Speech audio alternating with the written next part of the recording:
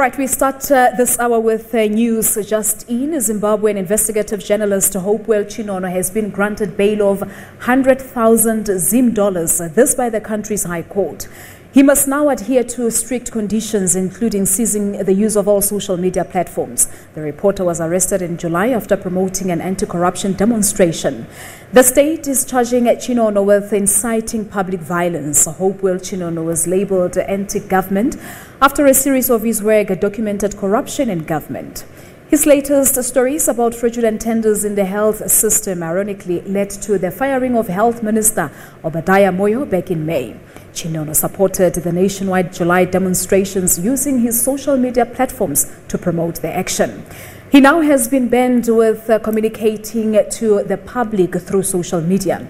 He also has to report to the police three times a week and surrender his passport. This was his fourth attempt at being released since he was arrested six weeks ago. Coming back